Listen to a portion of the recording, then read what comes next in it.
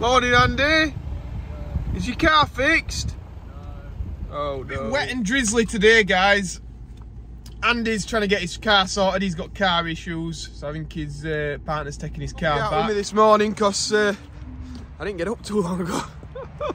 My brother gave me a call, and uh, and that was the wake up call. And I normally like an hour before I get anything done in the morning.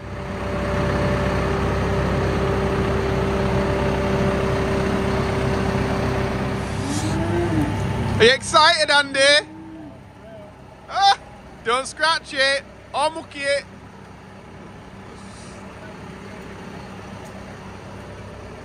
Yeah.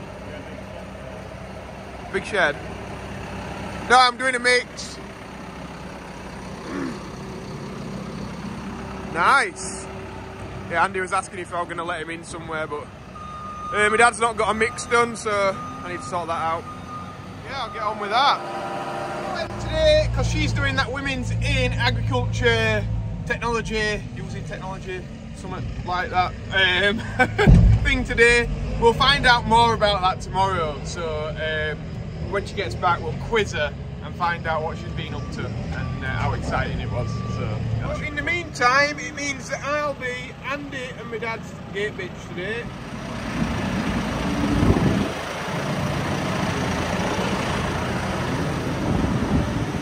It's good lights, is this tractor. I'll give it that. Tell us what happened with the stall, Andy. What's that? With the stall. Stall. Yeah, I don't know. Oh no, I did get it on camera, yes. No, I didn't really. I missed it. what Andy doesn't like about a tractor is it's too shiny. Yeah, you need to make matte tractors, John Deere. These matte tractors. Because you're getting reflections and it's uh, it's messing up with stalling. Got that part back up in there. Andy can do a mix a bit later. It's about putting the fodder beet around now. Check this out, and Andy's giving me a go on his new tractor. Oh, nice. That's it now, look. Joe's on board. I've been kicked out already, look. Yeah, I think we'll put 6930 on this next time, Andy. Just keep this in shed, alright? All right, Joe. All right, yeah. Cool. Joe's to blow some straw in. Thought I'd best let him have a go. Keep him happy. I let him on it for five minutes. Look at the state of it. Payback time. I get to video Joe putting the bale in.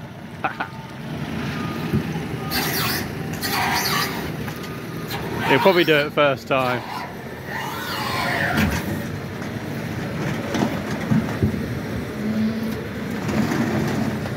Look at that, look. Oh, oh, oh, oh! Joe, Joe that, Bugger! that tractor's rather quiet. Down. What happened? He's just got me stalling the tractor. It's um, obviously not got the same low end grunt as the 125, this 130. Um, but it's just taking a little bit of getting used to anyway. Ah. Yeah, Andy's just got one more bale to do. And then we're done. It's a bit weird how it um, stalled. Andy says he stalled it three times this morning. Just getting used to the tractor or whether it just runs at a slightly lower idle speed or something. Um, yeah, a bit strange really. But we'll see how we get on with it for next week or something. And if, it, if we think it's a problem, we'll have to contact John Deere about it. But, uh, but yeah, apart from that, it's really quiet in there. Great. It sounds nice. We like it. Dinner. It looks like Andy's just getting a mix sorted there. Still a dismal, horrible day. While I've been having my dinner, with that tractor stalling, it's on slightly bigger wheels. And obviously the 125 that went was on smaller wheels and the tyres were worn down a bit more. So maybe that might be the issue. I don't know. What do people think? Let me know in comments. And just walking through these guys, trying to find one that's got a specific number because it's uh, coming up towards 30 months. Oh, he's here. This one's stretching. Over 30 months, we don't get paid the same per kilo for that beast. Um, purely because there's less of a market for it, um, less customers that we can send it to. So we often look around if we've got cattle that are coming up to 30 months and we will make sure that if they're nearly there, we'll send them um, even if they're not entirely finished. um, just because the amount of money that we will lose if it goes over 30 months is uh, is not worth getting it to its finishing point. So um, yeah, that's why we have to look look around and try and find cattle in pens and uh, spend a long time doing it, don't we, Andy? Yeah. so yeah, that's why we were doing that so with that. It's one. probably about time. Showed you what it was like inside this uh, new 130R then. It's got all these extra lights. Even got one outside there, look. Fancy little LEDs in end. Nice. And look at this. Old drawbar, that's a bit complex, isn't it? Inside the cab, it's got some mucky uh, paper at minute, but little dicky seat. Nice. This is all touch What's this gearbox called now? Is it auto quad? No, it's not, is it? It's like power quad or something. Oh no, it is auto quad. It does automatically change them.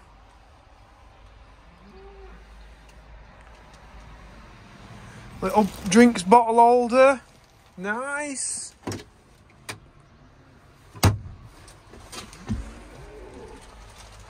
DAB radio.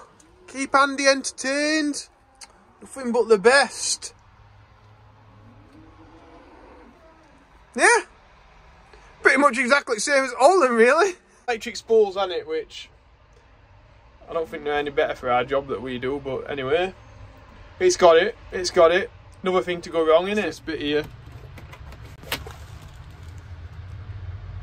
Yeah, I like this though. I like this uh, way of lifting the arms up and down. I do like that. I think that's better.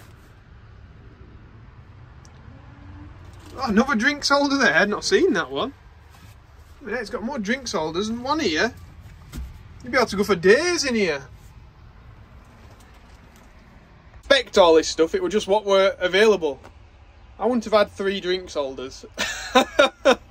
it wouldn't have had electric spools. Um, probably wouldn't have had all them lights.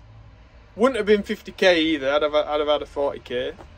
Um, yeah, yeah, so it's a lot different. Andy's got some bonus things, since we couldn't get one. Uh, as we, you know, he couldn't design one, it was just one that was on the books. Wouldn't have this thing above me. Sunroof, what do you need one of them for? It's got aircon. It's at the back. straw. Is that a vent? Fancy. Yeah, I don't, I don't, I don't really know why people would want one of them. Tell me, if you've got a sunroof and you spec'd it, why did you spec it? What's your reason? What's your thoughts? What's your feelings behind specking a sunroof? I don't understand it.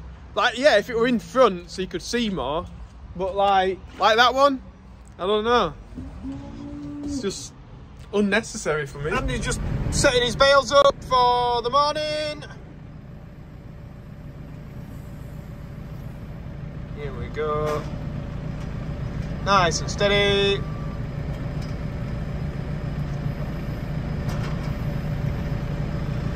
Getting the job done, then he's going to get some hay and he's going to get some silage and just feed it out to uh, the pens that need it. Andy's just got out of bed. I reckon he hasn't all. Whose bed though? Whose bed? I don't know. Some some poor some not, poor fellas. Not ashes anyway. uh, Big end. She's away, ain't she? She's doing a stardom thing today. So, are you alright? Good, good. Business. Alright, Ash? Bad. Five minutes behind, did you both get out of the same bed? Jealousy gets you nowhere. so, them two are going to help me put some of this plasterboard out, put it in a few of the front of the sheds and what have you. Um, sort of like where we were welding earlier looks a little bit mucky, so I put some in there. Um, yeah, put a bit out. Say where this stuff came from and how much it weighed. So it was um, 24 ton, and it comes all the way from Kent, which is um, yeah, just seems a hell of a long way to fetch it up here. Actually, quite close to the. Um, I think it was weighed about 43 ton, something like that, gross. So it's quite close really to being um, up to full weight with it. We really compacted it in. Um, which I suppose you've got to do if you're fetching it from Kent. You got to get plenty on, haven't you? I can't see a thing tipping this stuff out.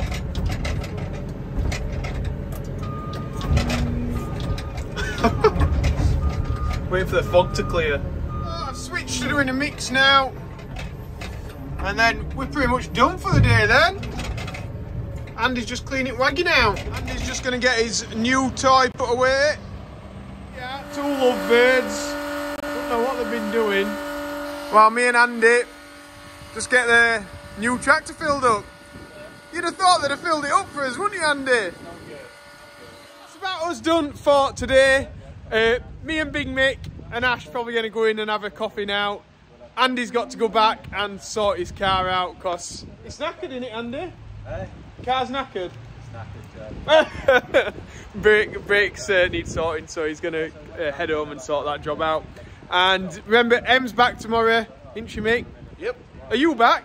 Dilly dilly. Nice, nice. We'll see Mick. She's going to tell us all about what's been happening um, today with that women in agriculture thing.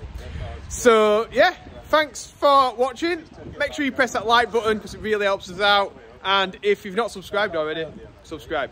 See you later, guys. See you tomorrow. Boom. This is a proper wagon. Em likes this one. Scania lifting decks for business. And he's off.